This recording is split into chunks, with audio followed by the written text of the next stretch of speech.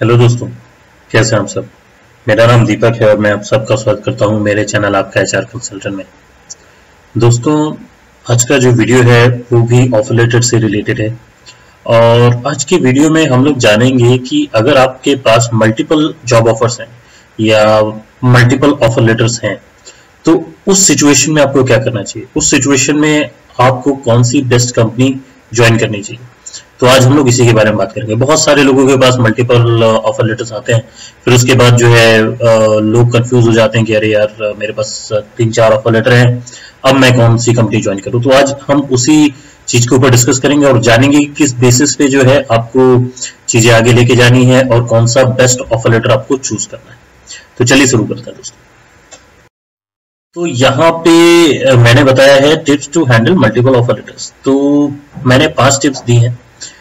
जिसमें आपको, मैं बताऊँगा कि कैसे आपको ऑफ़र लेटर हैंडल करना है। सबसे पहला है फैक्ट चेक अब फैक्ट चेक का क्या मतलब होता है? जब भी आपके पास कोई ऑफ़र लेटर आता है, आप, मैंने आपको जैसे पुरानी वीडियो में बताया है कि कैसे आपको ऑफ़र लेटर इवेल्युएट करना है। तो आप पूरा का पूरा इवेल्युएट करें, ठीक है? अच्छे से ऑफ़र लेटर को इवेल्युएट कर लें। सारे फैक्ट चेक बराबर से करें। अब फैक्ट चेक करने के लिए आपको क्या करना है? आपको जो है ग्लास डोर की वेबसाइट है, उसमें जाके आप फैक्ट चेक कर सकते हैं कंपनी के बारे में। कंपनी के ऑफ़िस कितने हैं, कितने ब्रांचेस हैं, कहाँ कहाँ पे लोग कहाँ कहाँ पे इनके ऑफ़िस सिचुएटेड है कौन कौन सी कंट्री में ये ऑपरेट करते हैं।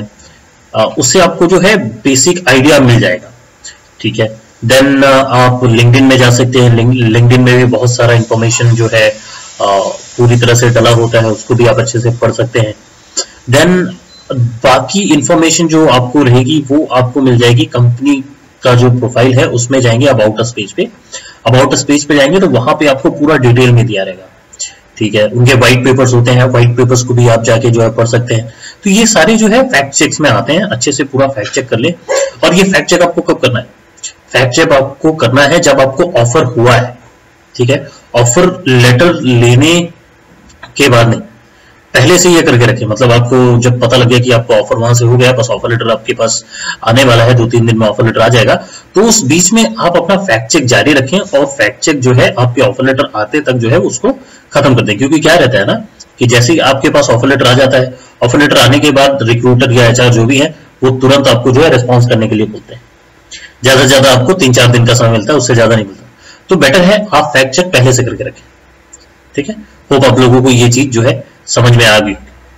ठीक है दोस्तों, अब अगला आता है be thankful but don't say yes कहने का मतलब है कि अगर कंपनी ने आपको ऑफ़र लेटर इश्यू किया, ठीक है ऑफ़र आपको दी है तो आप उनका थैंक्स ज़रूर कीजिए, क्योंकि देखिए आपका इंटरव्यू लिया, उन्होंने जो है टाइम स्पेंड किया और you know they have given you an offer तो it's a very good thing ठीक है to have a good offer in तो उनका धन्यवाद ज़रूर कीजिए, लेकिन यस मत बोलिए, ठीक है? डोंट से यस यस आपको अभी नहीं बोलना ठीक है? अब इसी से रिलेटेड जो है, अगला पॉइंट आता है। वो क्या है? जैसे मैंने यहाँ पे बताया थैंकफुल रहिए, क्योंकि उन्होंने आपको आपका सिलेक्शन किया है। लेकिन हाँ मत बोलिए ऑफ़र की ऑफ़र लेटर के लिए अभी कि मैं आपकी कंपनी ज्वाइन करूँगा। उससे अच्छा है बी ट्रूथफुल उनको बोलिए कि देखिए, मैंने और भी इंटरव्यूज़ दिए हैं। मैं और भी इंटरव्यूज़ का जो ऑफ़र आने का वेट कर रहा हूँ।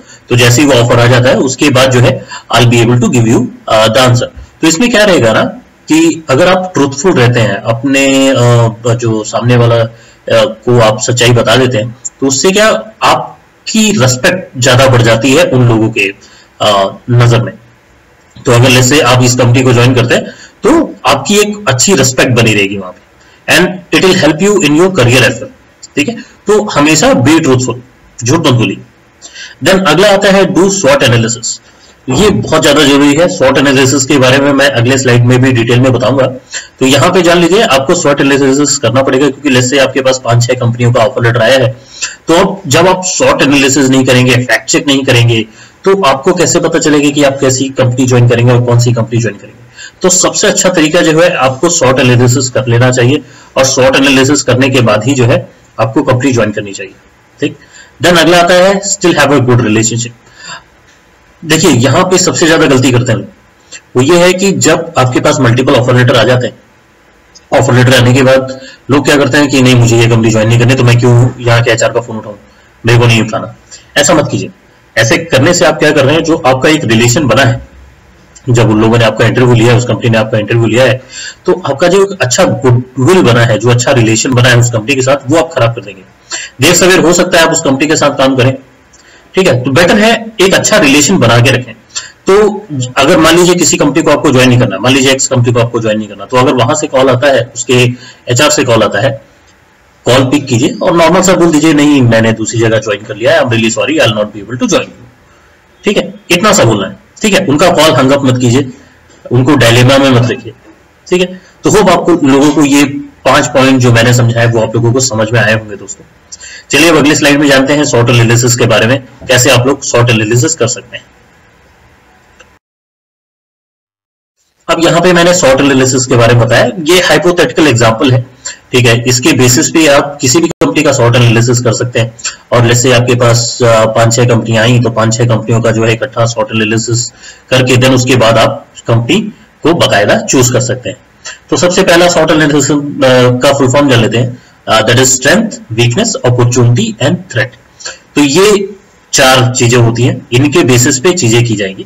तो सबसे पहले होता है स्ट्रेंथ तो स्ट्रेंथ को अगर मान लीजिए कोई एक्स कंपनी है, मुझे उसका स्ट्रेंथ देखना है तो मुझे उसका स्ट्रेंथ लेसे लगता है कि उस कंपनी का कल्चर बहुत अच्छा है यार, बहुत अच्छा कंपनी का कल्चर है और सैलरी भी बहुत अच्छी देती है। तो ये दो एक बहुत ही स्ट्रॉन्ग स्ट्रेंथ पॉइंट पॉइंट निकल के आते हैं उस कंपनी के रिगार्डिंग ठीक है? देन उसके बाद मैं देखता हूँ अच्छा वीकनेस क्या क्या है उस कंपनी के? ये तो स्ट्रेंथ हो गए तो वीकनेस में अच्छा no work life balance work life balance नहीं है मतलब वहाँ पे आ, क्या बोलते हैं काम बहुत ज़रूरत से ज़्यादा करवाया जाता है। देन लेट प्रमोशन प्रमोशन नहीं है कंटिन्यू काम करवाए जा रहे हैं लेकिन प्रमोशन नहीं दे रहे हैं। तो ऑब्वियसली वीकनेस में जा रहा है। देन अपॉर्चुनिटीज़ क्या है वहाँ? लर्निंग की अपॉर्चुनिटी अच्छी खासी है। वो लोग ऑन साइट विज़िट देते हैं। अगर आपको ऑन साइट भेज रहे हैं तो। ये दोनों बहुत ही अच्छी अपॉर्चुनिटी है और उसके बेसिस पे जो आगे का आप करियर पाथ बना सकते हो। लास्ट में हम थ्रेड देखते हैं। तो थ्रेड में क्या आ रहा है? हाई एट्रेशन रेट अब हाई एट्रेशन रेट है अच्छा खासा।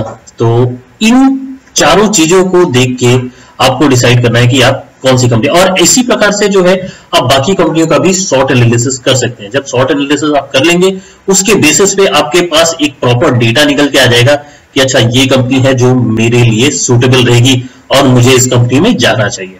तो होप आप लोगों को शॉर्ट एनालिसिस अच्छे से समझ आ गया होगा दोस्तों। चलिए आगे बढ़ते हैं। और ये सैंपल ऑफ़र लेटर है जो कि मैंने अपनी पुरानी वीडियो में भी दिखाया था। तो इस प्रकार से जो है ऑफ़र लेटर आपको दिखता है। ठीक है तो इसी प्रकार से जो है आपको एक नॉर्मल सा ऑफ़र लेटर मिलेगा और उसी को आपको एक्सेप्ट करके देना होगा।